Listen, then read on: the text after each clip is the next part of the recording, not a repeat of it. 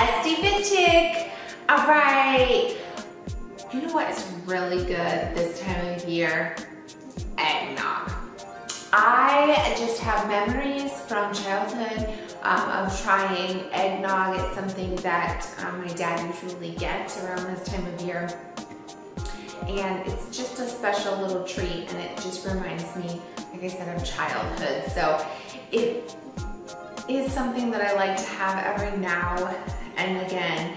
Now, the bad side of the eggnog is it's high in calories for not a lot. It's got a high fat content um, and also the sugar. So it's definitely one of those cheap things.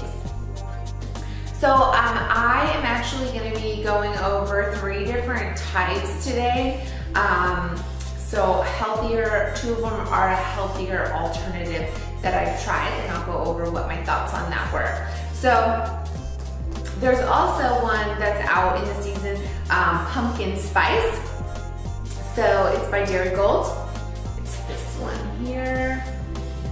And with this one, um, this is a full-blown eggnog. Um, so for a half a cup, it's gonna be 180 calories, 9 grams of fat, 20 grams of sugar, but you do get 4 gram, grams of protein in it.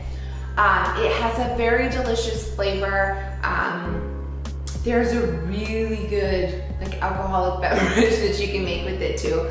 Um, so very good stuff. So I just wanted to um, mention this one because of the pumpkin spice flavor. I know a lot of people go crazy over pumpkin this time of year. And also I just wanted to um, compare the nutritional information of the other ones that I've tried. So um, the other alternative that I tried was silk plant protein nog. So you can see that. Now I got this one, I believe I got it from um, Walmart and you can even find it at Fry's as well or Kroger, depending on what area you live in. I'm sure that many of the grocery stores have them. So with this one, it's a half cup serving just like the regular eggnog, um, but it's only 80 calories instead of 190. Oh, I'm sorry, 180 is what the other one is. So it's 100 calories less for the half a cup. It only has one and a half grams of fat versus the nine grams of fat. Um, it still does have some sugars in it. It has 11 grams of sugar, and then you've got three grams of protein. Now, as far as the um, consistency of this, the consistency is more going to be just like a regular soy milk. Um, it doesn't have that thicker consistency that uh, the eggnog does have. And I didn't really find it to be very flavorful at all. So I will not be using this again. I actually ended up just using it more as like a, a coffee creamer. Um, and it took me quite a while to get through it because I didn't really enjoy it. But it is that healthier option.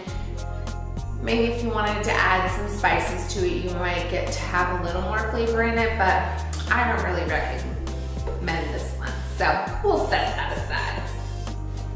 So what I found um, to be a good in-between is actually the So Delicious Dairy Free. Um, this is the Holiday Nog. And this one I actually find to be very tasty.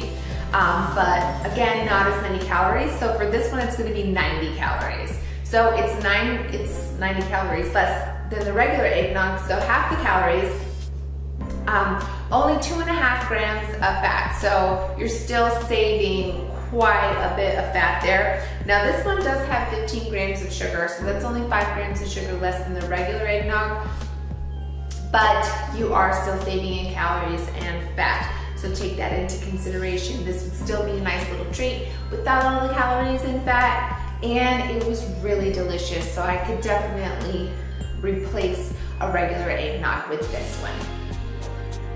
So all of you eggnog drinkers who are trying to watch the calorie intake as much as possible, because every calorie counts around the holidays. There's tons of um, calorie dense foods around us, lots of um, treats and goodies and we want to make better choices where we can. So this is a healthy alternative. If you're just going all out, I definitely would recommend the pumpkin spice eggnog then. It's quite tasty and has that little bit of pumpkin to it.